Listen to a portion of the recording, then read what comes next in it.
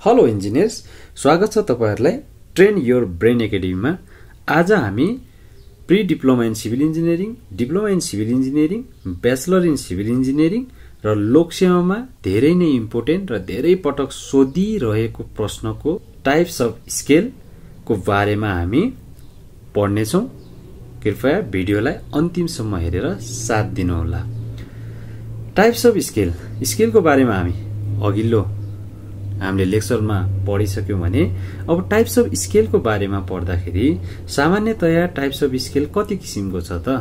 लोकसेवामा र सिलेबसमा र युनिभर्सिटीको इक्जाममा सोधिने क्वेसनको बारेमा पनि पढौँ। र साथै टाइप्स अफ स्केल कति किसिमको छ त त्यो पनि हेरौँ।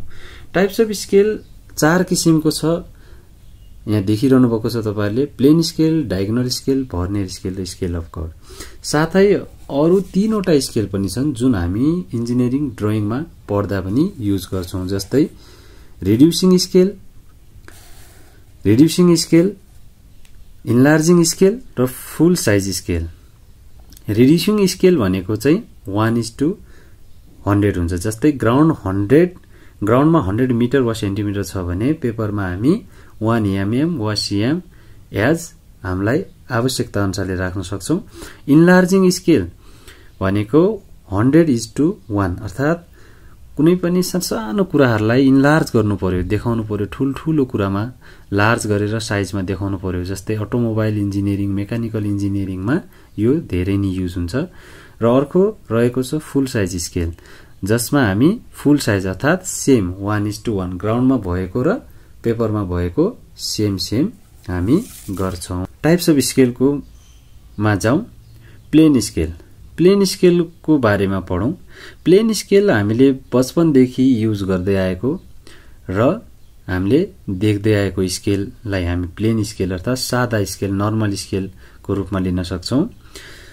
तर सर्वेमा अलिक बढी अर्थात् ठुलो स्केल चाहिन्छ। सो स्केललाई हामी बढाउँछौँ।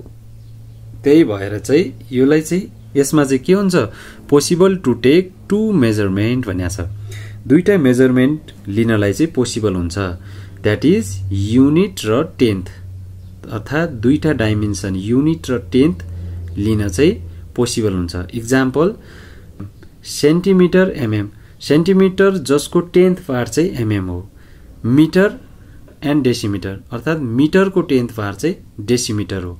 वाट्रिक युनिट चाहिँ बुझ्दाखेरि सबैभन्दा मेन सजिलो हुन्छ।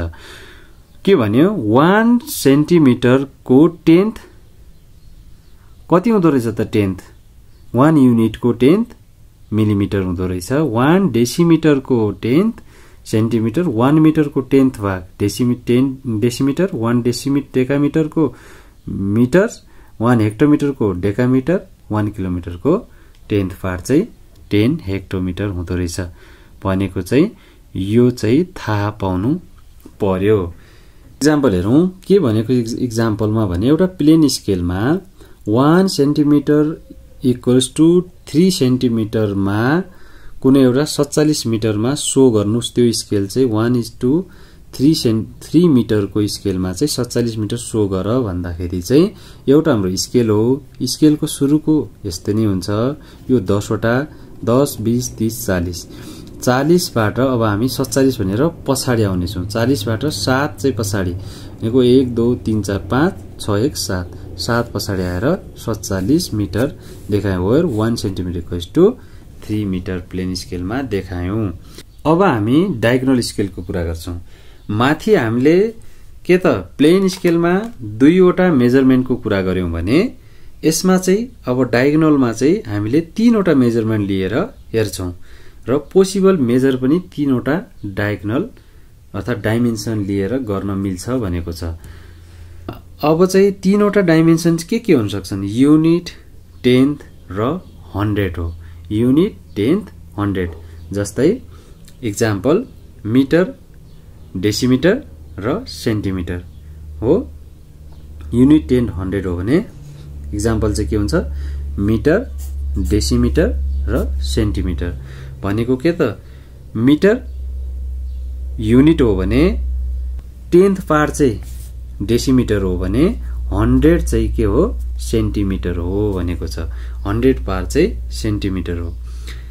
डायगनल हामीले स्केल देखाउनु पर्दाखेरि ट्रायङ्गल लिएर डायगनलको बनाऊ जसमा हामी के गर्छौँ? यो माथिको हात पी र क्यु एउटा बेस बनाऊ क्युबाट पर्पेन्डिकुलर लिएर एउटा दसवटा इक्वल पार्ट्समा डिभाइड गरेर आर पोइन्ट लिउँ। त्यो आर पोइन्ट जहाँ मिट हुन्छ त्यहाँ पीमा एउटा लाइन तानौँ र यो जति नै हो त्यता यति यता पनि लाइनहरू एक्सटेन्ड गरौँ र वानको वान ड्यास टूको टू ड्यास थ्रीको थ्री ड्यास फोरको फोर ड्यास फाइभ गरेर नाइनसम्म बनाऊ। यो आफैमा टेन भयो। भने कसरी चाहिँ डायगनल स्केलमा हामी थ्री डाइमेन्सन काम गर्छौँ त भन्दा आर वान चाहिँ पिक्युको टेन्थ पार्ट हो। भने के हुन्छ? वानदेखि वान ड्यास रिप्रेजेन्ट के गर्छ? वान बाई टेन पिक्यु गर्छ। टूदेखि टू रिप्रेजेन्ट गर्छ। टू बाई टेन पिक्यु गर्छ। थ्रीदेखि थ्री रिप्रेजेन्ट गर्छ। थ्री बाई टेन पिक्यु गर्छ। फोरदेखि फोर ड्यास रिप्रेजेन्ट गर्छ। Four by ten PQ similar as नाइनदेखि nine dash represent के गर्छ? Nine by ten PQ etc गर्दछ।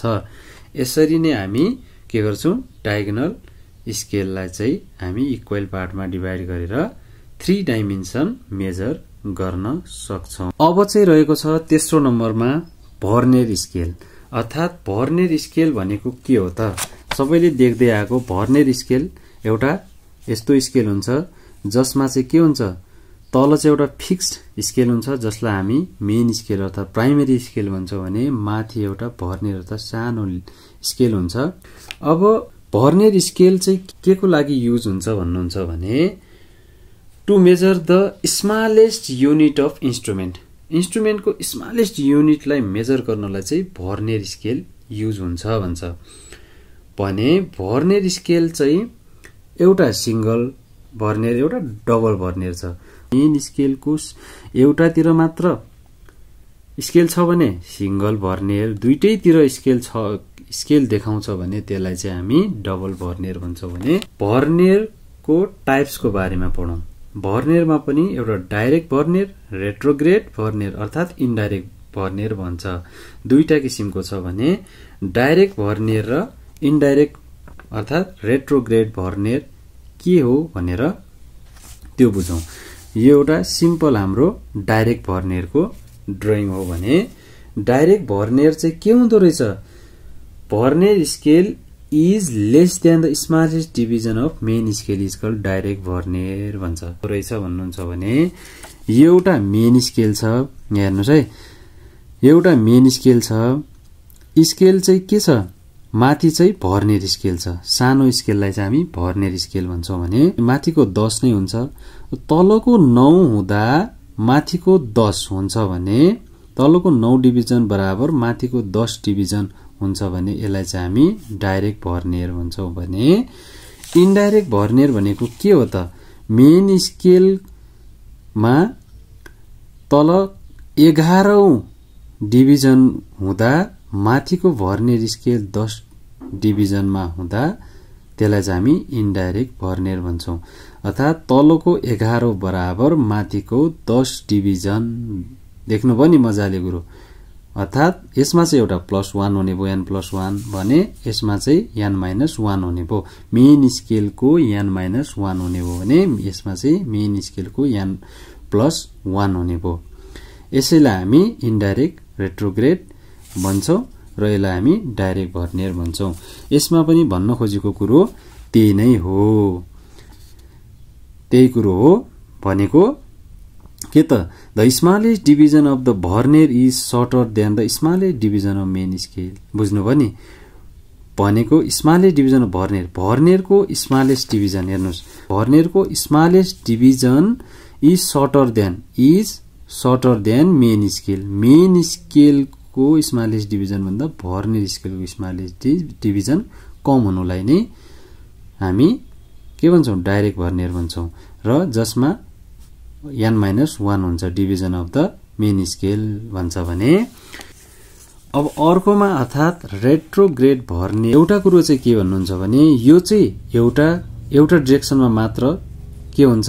एउटा डिरेक्सनमा मात्र यसलाई हामी भर्नेरमा भर्नेरलाई सार्न सक्छौँ भने यो चाहिँ दुईटै डिरेक्सनमा ओपोजिट डिरेक्सनमा पनि सार्न सक्छौँ यो भर्नेर स्केललाई रेट्रोग्रेडको भने।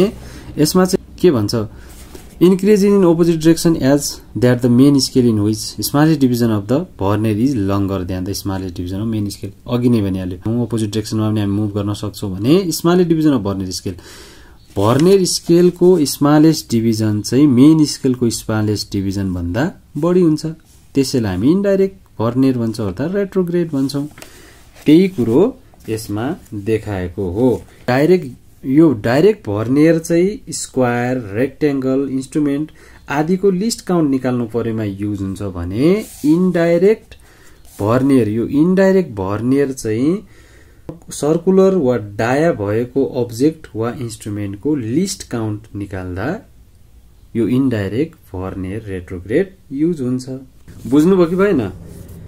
डाइरेक्ट भर्नेर र इन्डाइरेक्ट भर्नेरको बिचको डिफ्रेन्स बुझ्नुभयो कि भएन? डाइरेक्ट भर्नेर एक साइडतिर मात्र सराउन सक्छौँ हामी इन्डाइरेक्टलाई चाहिँ हामी बोर्ड डिरेक्सनमा सराउन सक्छौँ। लिस्ट काउन्ट दुइटैको सेम हुन्छ। लिस्ट काउन्ट भनेको कति हुन्छ त? भर्नेर स्केलमा लिस्ट काउन्ट चाहिँ वान एमएम हुन्छ है। स्केलमा भर्नेर स्केलमा लिस्ट काउन्ट। यो लोकसेवामा धेरै नै पटक सोधिरहेको हुन्छ। भर्नेर स्केलमा लिस्ट काउन्ट अर्थात् एलसी चाहिँ कति हुन्छ? वान एमएम हुन्छ। दुइटामा लिस्ट काउन्ट पनि सेम हुन्छ। र माथि भनेको कुरो सबै कुरो बुझ्नुभयो होला। अब लास्टको कुरो गरौँ स्केल अफ कड। स्केल अफ कडको बारेमा कुरा गर्दा हामीहरूले देख्दै आएको स्केल चाहिँ यो कड चाहिँ कहाँ युज हुन्छ होला भन्नु पर्दाखेरि डिग्री मेजर मेजर प्रोटेक्टर त देखिरहनु भएको होला।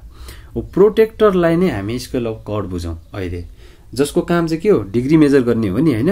हो त्यही भएर चाहिँ यसको मेन काम के हुन्छ? स्केल अफ कड is use to measure angle or set of an angle. भनेको चाहिँ यसको मेन काम चाहिँ के हो भन्नुहुन्छ भने एङ्गल मेजरमेन्ट गर्न र सेट नयाँ एङ्गल सेट गर्न। यसको मेन उद्देश्य हो भने एङ्गल बनाउन वा मेजरमेन्ट गर्ने कामलाई चाहिँ हामी स्केल अफ कड भन्छौँ भनेर चाहिँ बुझ्नु होला।